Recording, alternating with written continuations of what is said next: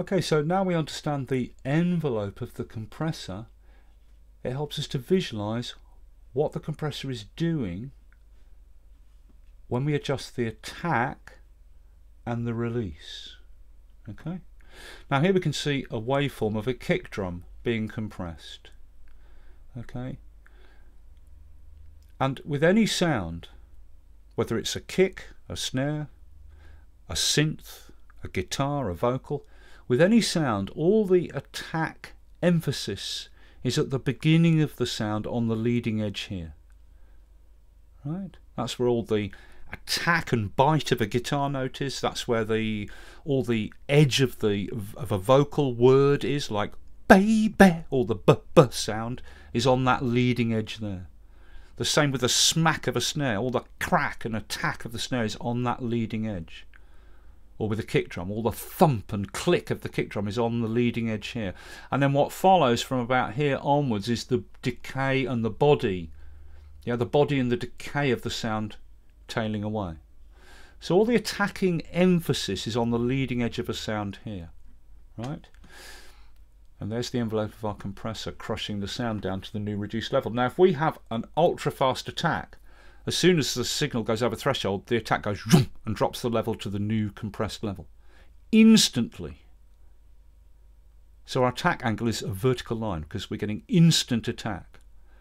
And it's so fast, it's crushing that leading edge before it can rise up. And that takes away all that leading edge emphasis and accent on the edge of the beginning of the sound.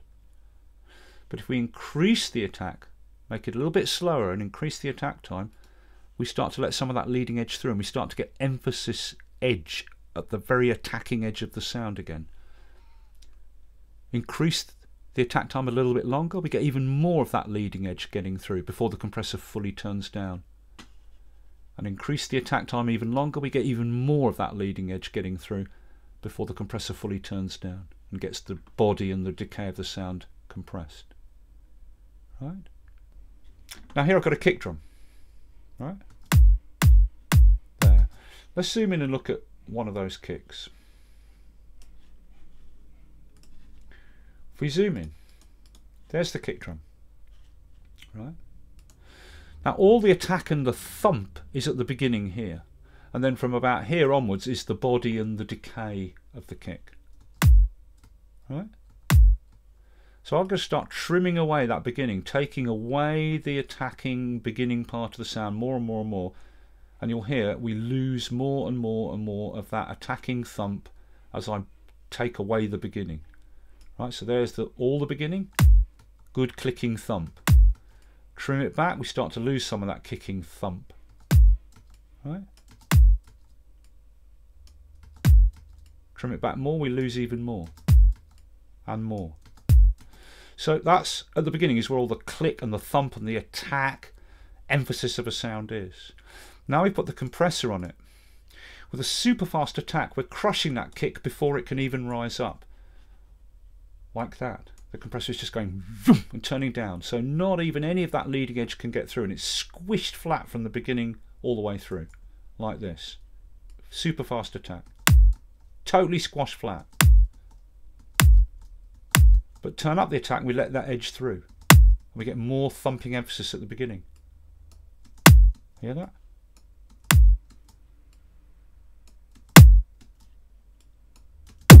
Yeah. Let some edge through. No edge through at all. It's, it's, it's compressing the instant, but the kick triggers, so no leading edge is allowed to get through. More leading edge getting through. We get more thumping attack. And more. And more. Yeah? It's the same with anything. Um, look, I've got a snare here. Okay. With instant attack, the snare's getting crushed at the very beginning before it can even rise up. And we get a sort of squished snare sound. Bring up the attack, we're letting some of that leading edge through. Get more edge emphasis at the beginning, right?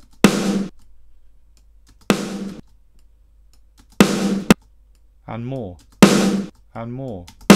Yeah? Um, it's the same with the synth. I've got a synth sound here, right? With instant attack, it's crushed flat before it can even rise up. Yeah, hear that? Turn up the attack, we're letting some of that edge through and we start to get accent at the edge beginning of the sound.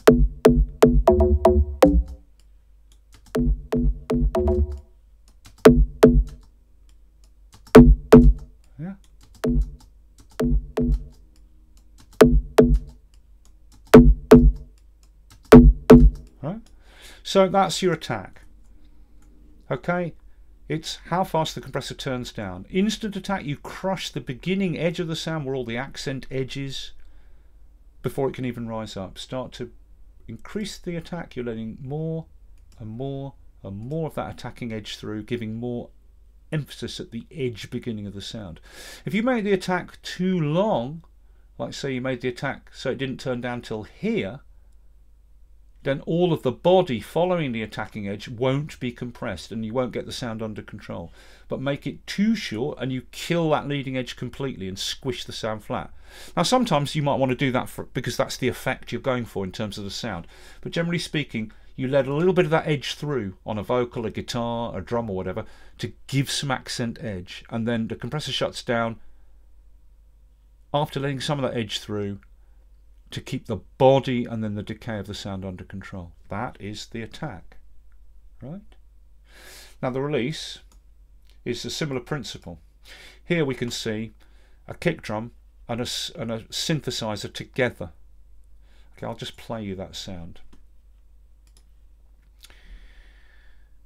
Here it is. Okay, so kick and a synth together. Kick Here's the kick there, right? And there's the da da da da synth following it. Then there's the next kick and the da da da da da synth following it. There's the next kick and the da da da da synth following it.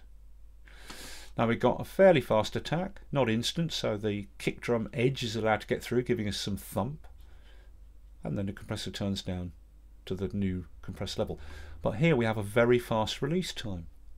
So the compressor, between each kick, the release is so fast the compressor is able to turn all the way back up before the next kick triggers it to turn down again.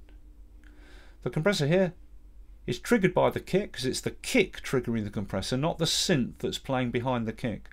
The kick triggers the compressor, it turns the kick and the synth behind the kick, it turns them both down. But once that kick has passed, the compressor goes, well, the kick's gone away now that was triggering me. I've got a very fast release. So whip, I'll turn back up. And it turns back up in this gap between kick, kick and kick. It's able to turn back up because it's short release. So as it turns back up in that gap, it turns up the synth following each kick here. So between each kick, kick, kick, kick, we hear the compressor turn back up in the gap going kick, kick, kick, surging up the synth in the gap, like that, like this. You hear that? You hear the synth coming up, up, up between each kick drum like this. Because the release is too short. Right, so the, so the compressor is able to turn back up before the next kick arrives, triggering it to turn down. And as it turns back up, it's turning up that synth following each kick. That's called pumping. Or breathing. But if we make the release longer, then what we're doing is this. We're making the release longer so it can't turn back up in that gap between each kick. The compressor, the kick here triggers the compressor, it turns down, the longer release holds that compression across the body of the kick and then the compressor is just starting to recover here where the synth bit is going. The compressor is just starting to recover when the next kick arrives. So the synth following each kick here is kept under control and we get the synth staying at the same level after each kick and we get a controlled sound like this. Yeah, the synth is at the same level, not surging up between the kicks, right? But again, just to show you again, but make the release too fast, and in between each kick, the compressor turns back up with that fast release time. It's not holding the compression. Yeah? Fast release turning up in between each kick. Bringing up the synth here, here, and here following each kick. Like this. That's called pumping or breathing, where it's the compressor surging up between each loud thing that's turning it down. Um, for example, here I've got a drum kit. Okay, now this is a drum kit, a kick and a snare with a ride cymbal behind it. Now here we've got a slow release, a longer release time. So the compressor's taking longer to turn back up.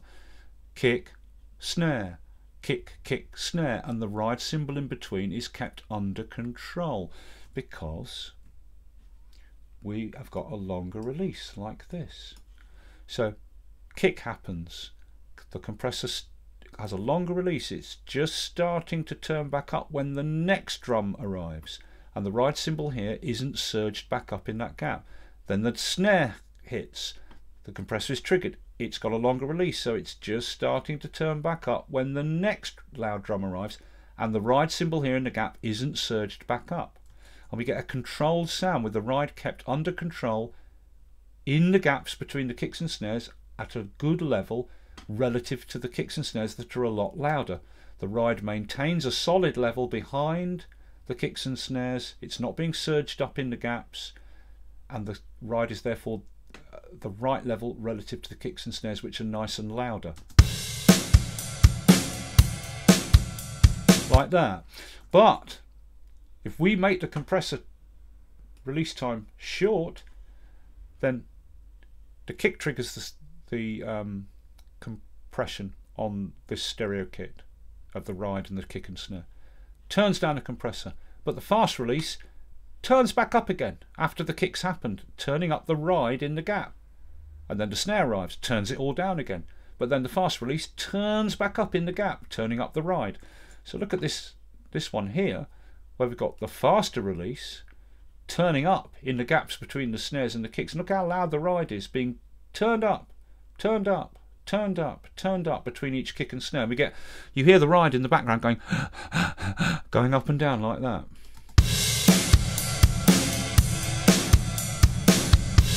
Yeah, because the ride is surging back up in the gaps between kick, snare, kick, snare, because the release is too fast. So the compressor's turning back up in the gaps between the loud drums turning turning it down and as it comes back up the ride in between the kicks and snares is being turned back up. So that thing where the release is too short and the compressor is turns back up between each thing that's turning it down that's called breathing or pumping. And understanding the envelope helps us to visualize what's happening right? In between each loud hit turn down turn up turn down turn up turn down turn up. Or with a synth turn down turn up turn down turn up yeah right? But make our release time longer. The compressor stays compressing and is just starting to turn up when the next kick or snare arrives and the ride isn't surged up in the gaps between. Right? Okay. So there you go. That's release. And the thing about the releases is if you've got if you're compressing some program material where you've got regular loud bits triggering the compressor, you want the release to be long enough that it isn't able to fully turn up in the gaps between the loud bits triggering the compressor. That's the general rule. But you can go for a pumping effect. We all know pumping is part of music, it's a technique, right? So you can use short release times to deliberately get pumping or breathing effects in between the loud bits turning the compressor down but that's a choice, right? So you generally, you know, with the compressor, you're always just tuning the sound by ear.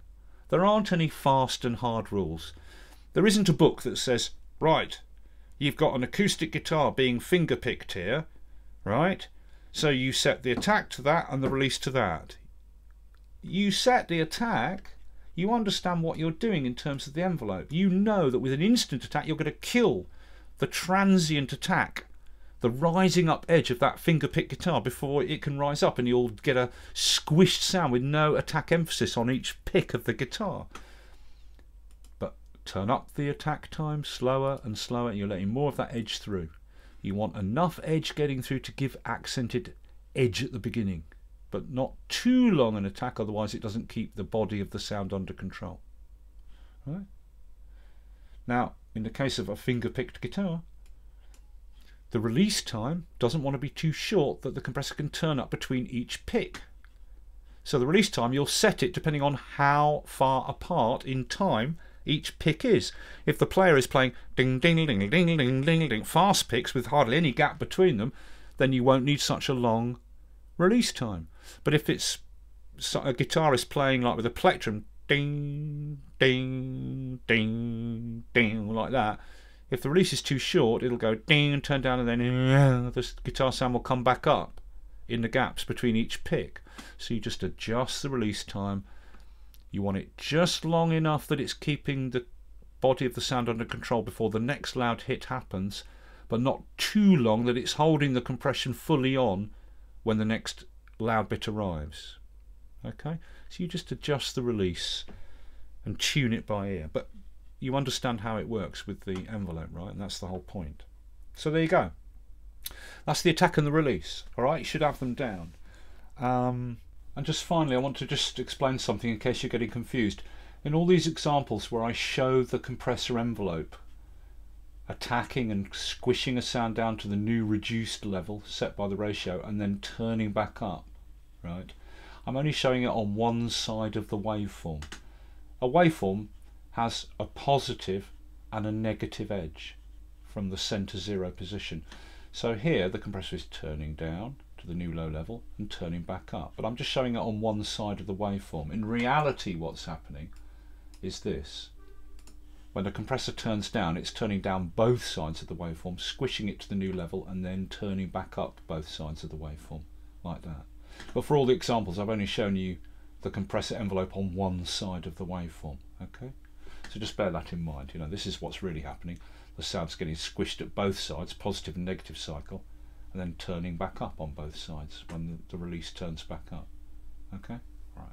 And that's all the controls and how it all works inside in terms of the basics, right? So now we can move on and we can look at the techniques we can do with the compressor, like side chaining and stuff like that.